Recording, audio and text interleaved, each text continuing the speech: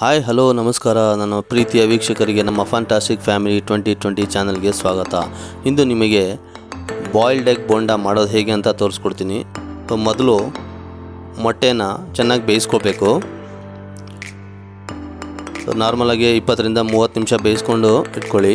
So ಅದಕ್ಕೆ next ಈರುಳ್ಳಿ, ಹಸಿಮೆಣಸಿನ್ಕಾಯಿ, ಧನಿಯಾ ಪುಡಿ, ಖಾರದ ಪುಡಿ, ಕೊತ್ತಂಬರಿ ಮತ್ತು ಬೋಂಡ ಮಾಡಲಿಕ್ಕೆ ಹಿಟ್ಟು, ಖಾರದ ಪುಡಿ ಉಪ್ಪು ಮತ್ತು ನಿಮಗೆ ಸೋಡಾ ಬೇಕು ಅಂದರೆ ಹಾಕ್ಕೊಂಡು ಮಾಡ್ಕೋಬೋದು, ಇಲ್ಲಾಂದರೆ ಸ್ಕಿಪ್ ಮಾಡ್ಕೋಬೋದು. ಸೊ ಬೋಂಡ ಮಾಡಬೇಕು ಮೊದಲು. ಮಾಡಿಟ್ಕೊಂಡು ಅದಕ್ಕೆ ಬೇಯಿಸಿದ ಮೊಟ್ಟೆ, ಎಣ್ಣೆ, ಈರುಳ್ಳಿ ಬೋಂಡ ಹಿಟ್ಟು ಎಲ್ಲ ಮೊದಲು ರೆಡಿ ಮಾಡಿಕೊಂಡು ಮೊದಲನೇದಾಗಿ ಈರುಳ್ಳಿಯನ್ನು ಚೆನ್ನಾಗಿ ಕಟ್ ಮಾಡ್ಕೋಬೇಕು. ಚೆನ್ನಾಗಿ ಅಂದರೆ ಚಿಕ್ಕ ಚಿಕ್ಕದಾಗಿ ಆದಷ್ಟು ಚಿಕ್ಕ ಚಿಕ್ಕದಾಗಿ ಈರುಳ್ಳಿ ಮತ್ತು ಮೆಣಸಿನ್ಕಾಯಿನು ಜೊತೆಗೆ ಕೊತ್ತಂಬರಿಯನ್ನು ಕಟ್ ಮಾಡಿ ಇಟ್ಕೊಳ್ಳಿ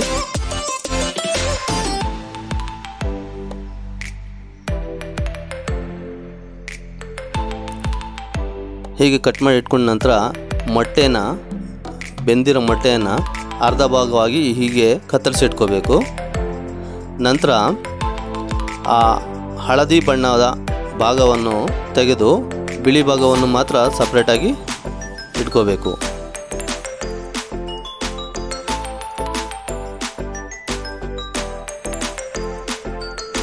ಎಣ್ಣೆ ಕಾದ ನಂತರ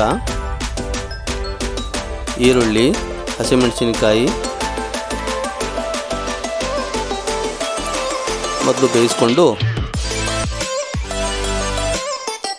ನಂತರ ಅದಕ್ಕೆ ಧನಿಯಾ ಪುಡಿ, ಖಾರದ ಪುಡಿ, ರುಚಿಗೆ ತಕ್ಕಷ್ಟು ಉಪ್ಪು.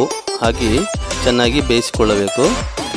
ಇದಕ್ಕೆ ಮೊಟ್ಟೆಯ ಹಳದಿ ಭಾಗವನ್ನು ಪುಡಿ ಮಾಡಿ ಅದಕ್ಕೆ ಚೆನ್ನಾಗಿ ಮಿಕ್ಸ್ ಮಾಡ್ಕೋಬೇಕು. ಮಿಕ್ಸ್ ಮಾಡ್ಕೊಂಡು ಸ್ವಲ್ಪ ಹೊತ್ತು ಬೇಯಿಸ್ಕೋಬೇಕು. ಎಲ್ಲ ರೆಡಿ ಆದಮೇಲೆ ಆ ಮಿಶ್ರಣವನ್ನು ಮೊಟ್ಟೆಯ ಬಿಳಿ ಭಾಗದಲ್ಲಿ ತುಂಬಿ ಬೋಂಡದ ಹಿಟ್ಟನ್ನು ಹಚ್ಚಿ ಎಣ್ಣೆಯಲ್ಲಿ ಚೆನ್ನಾಗಿ ಕರಿಬೇಕು.